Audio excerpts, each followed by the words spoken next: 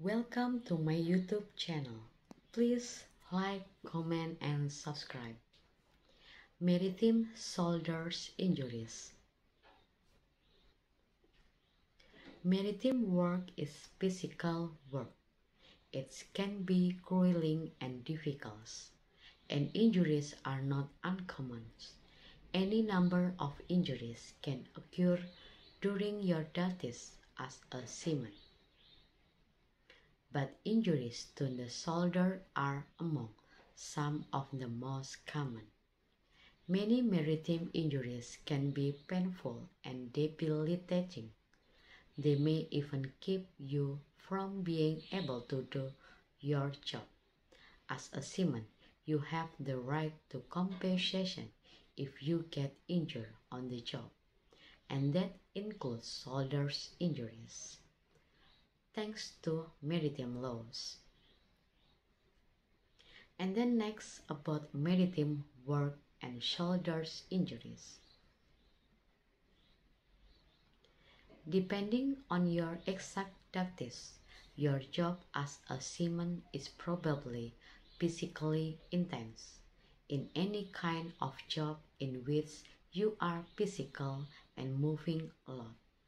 Injuries to the shoulders are a possibility if your job includes a lot of lifting. For instance, you may injure your shoulder lifting something heavy or cause damage to the joint over time. Maritime settings are also susceptible to accident, which can cause a shoulder injury. You slip and fall on the deck of a ship or work with dangerous equipment that hasn't been properly maintained. For instance, a wheel that is not working right could jerk your shoulders and cause an acute and painful injury.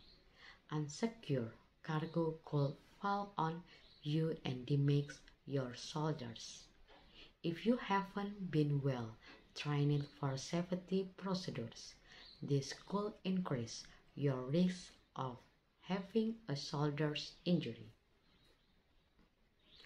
Type of shoulder injuries. There are many different ways you can damage your shoulders and that can develop during a maritime job as this is a complicated joint that is used regularly.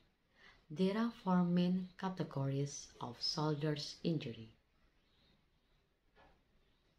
Tendinitis is the inflammation of tendon in the shoulders.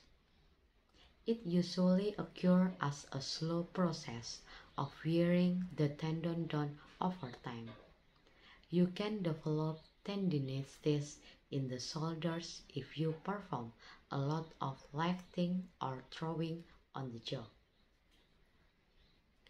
Dislocations of the shoulder joint happen when your upper arm bone comes out of the joint. This can be a full or partial dislocation and it is very painful. It is caused by overuse of the shoulder joint but can also happen suddenly in an accident. Fractures or broken bones in the shoulder area usually involves the collarbone, upper arm bone, or the shoulder blade.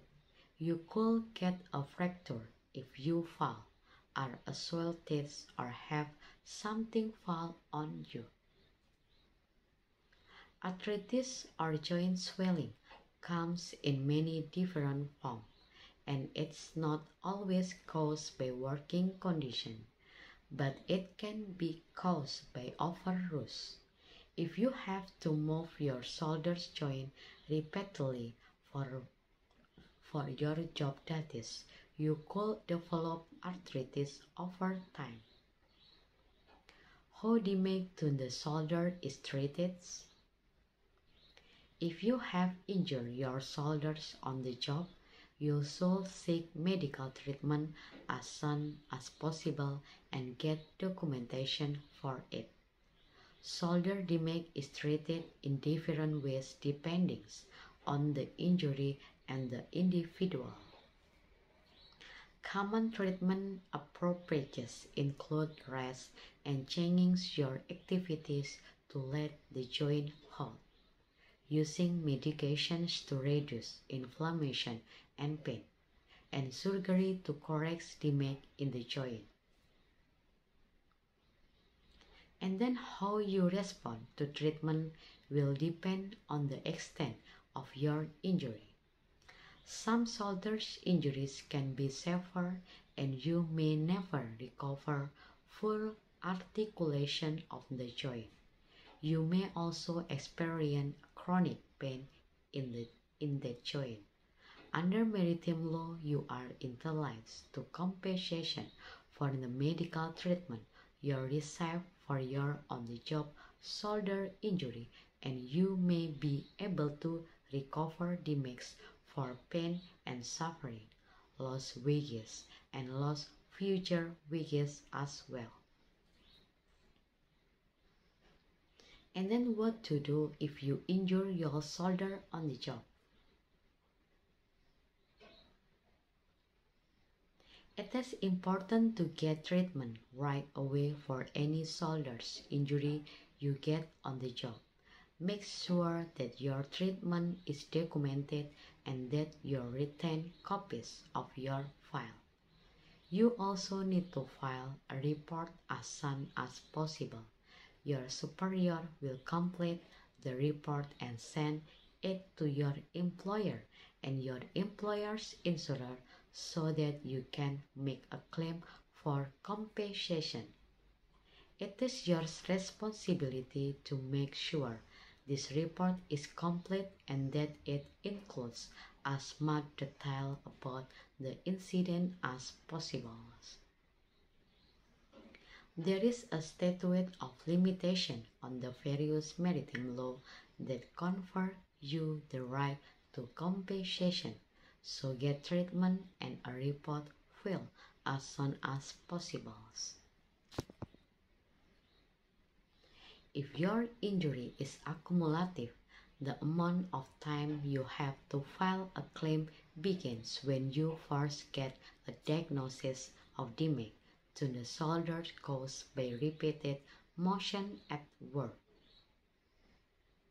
If you feel like you should be receiving compensation for your shoulder injury and you are not, look for any attorney with experiences in the maritime law. This professional can help you file a claim under the appropriate laws to get the damages to which you are entitled. Working with an experienced professional could make the difference between getting what you are owing and losing your case. Thank you for watching this video. Don't forget to give like, comment, and subscribe.